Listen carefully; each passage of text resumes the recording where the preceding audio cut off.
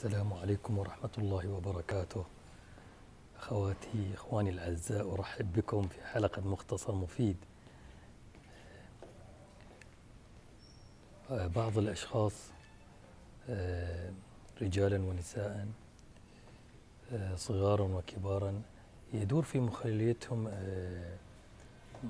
فكرة أن الله سبحانه وتعالى قد يستكثر على الله سبحانه وتعالى أن يعطيه المال أو أن يعطيه الأولاد أو أن يعطيه آه، الوظيفة أو يعطيه آه، ما يحب وما يريد في هذه الحياة الدنيا.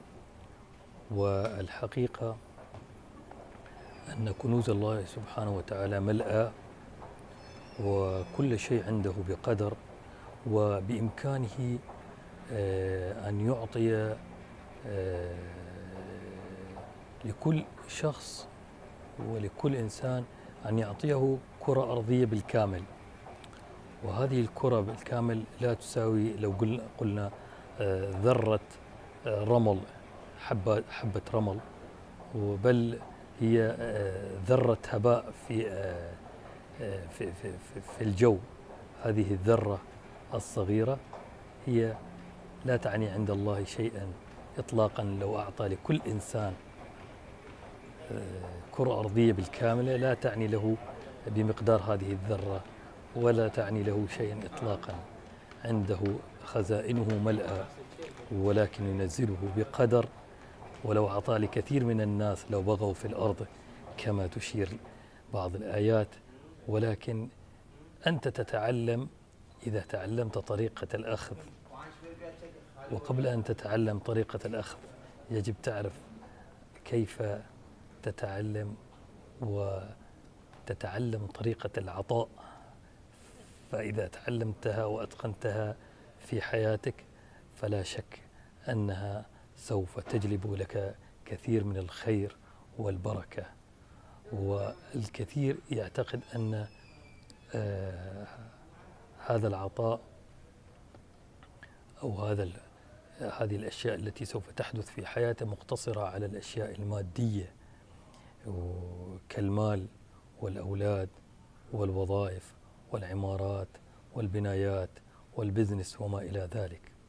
والحقيقة رغم أن هذا ذلك صحيح ولا شك فيه ولا غبار عليه إلا أن كثير من الأمور المعنوية لو حصلت في عقلك وقلبك ونفسك وجلبتها إلى يقينك كالمعرفة والإيمان واليقين بدرجاته آه، لحصل لك كثير من المفاجآت وكان عطاء ربك كبيرا عليك في هذا المجال وفي ذاك المجال كذلك.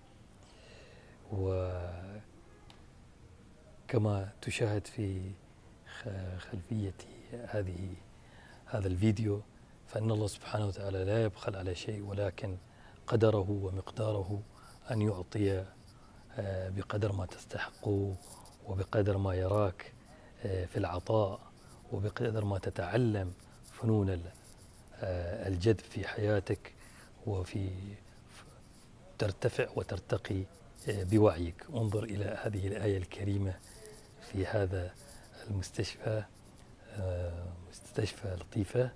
هنا قاعدين نصور في هذا الفيديو. انظر أمامك. آه، بسم الله الرحمن الرحيم. لله ملك السماوات والأرض.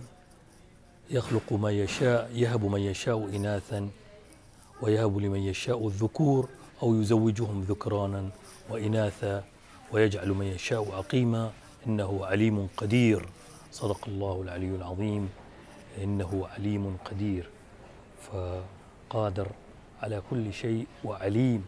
فإذا استيقنت بدرجة يقينك أنه قدير وأنه عليم عندها القدرة وعند العلم لمن يعطي هذا اليقين يرفع من مستوى وعيك ويدخلك في طاقة أخرى من طاقات الخير.